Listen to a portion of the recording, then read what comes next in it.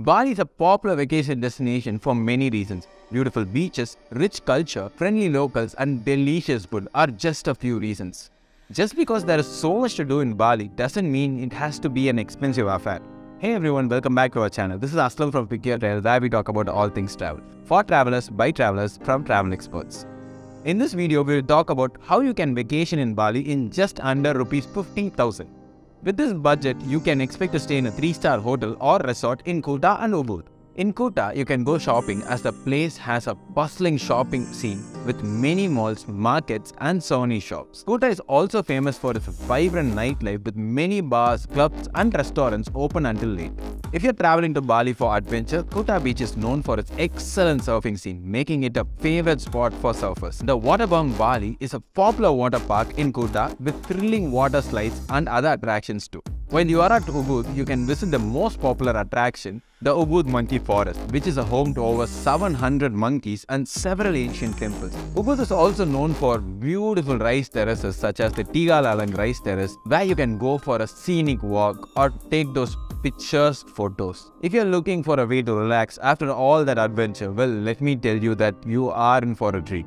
Ubud is a popular destination for wellness retreats and yoga classes with many studios and retreat centers offering workshops so you can relax and enjoy this beautiful paradise. Overall, with proper planning and budgeting, you can have a great 4 or 5 night vacation in Kuta and Ubud within a budget of Rs 50,000. Some tips for planning a budget friendly vacation in Bali. Plan your travel during the off season.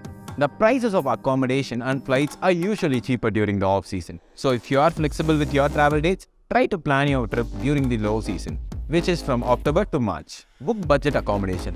Bali has plenty of budget-friendly accommodation options such as hostels, guest houses and homestays. In Kuta and Ubud, you can find many affordable guest houses and hostels. Use public transportation. Using public transportation is a great way to save money while exploring Bali. You can take a bus or a minivan to travel between Kuta and Ubud. Eat at local warungs. Bali is famous for its delicious street food and you can find plenty of local warungs which are small eateries that sell affordable food. Eating at local warungs is an excellent way to experience the local culture and at the same time save money at food. Finally, booking tours and activities in advance can save you money compared to booking them on the spot. You can find many affordable tours and activities in Kuta and Ubud, such as visiting temples, waterfalls and rice terraces. Traveling to Kuta and Ubud in Bali for under 50,000 rupees is possible if you plan your trip carefully. Book budget accommodation, use public transportation, eat at local warungs and book tours and activities in advance. Trail will help you get the best deals and also personalize your itinerary just the way you want it. For more such videos, do like, share and subscribe to our YouTube channel and don't forget to click on the bell icon to stay tuned. And unwrap the world with us to enjoy a hassle-free holiday.